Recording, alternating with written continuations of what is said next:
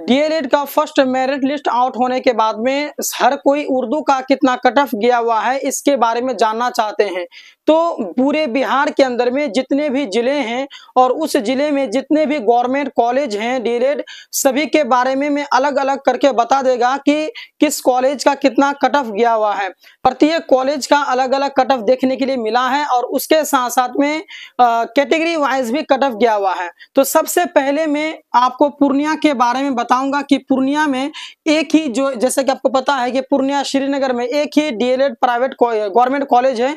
तो उस government college के बारे में बताऊँगा कि डीएलएड जो गवर्नमेंट कॉलेज श्रीनगर में है तो उसका क्या कट ऑफ़ गया हुआ है, ठीक है? तो जैसे अभी मैं पूर्णिया के बारे में बताएगा, फिर अररिया के बारे में, फिर किशनगंज या पटना या आप जिस भी ज़िले से बिलोंग करते हैं, अगर वहाँ पर गवर्नमेंट कॉलेज है तो उसके बारे में अलग से वीडियो बना करके बता देगा। तो आप लोग कमेंट कर देंगे कि आप लोग किस ज़िले से हैं और किस ज़िले का जाना चाहते हैं।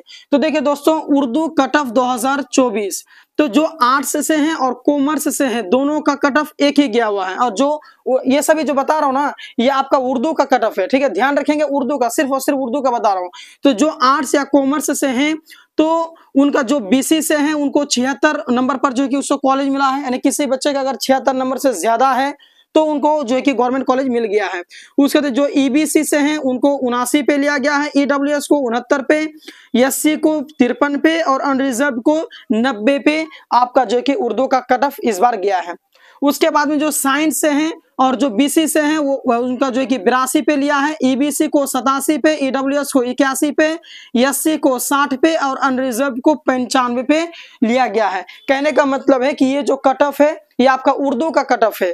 किस कॉलेज का? जो तो जो डाइट पूर्णिया कॉलेज जो श्रीनगर में है, उसका ये कट ऑफ़ गया है। ये उर्दू का बताया मैंने, ठीक है?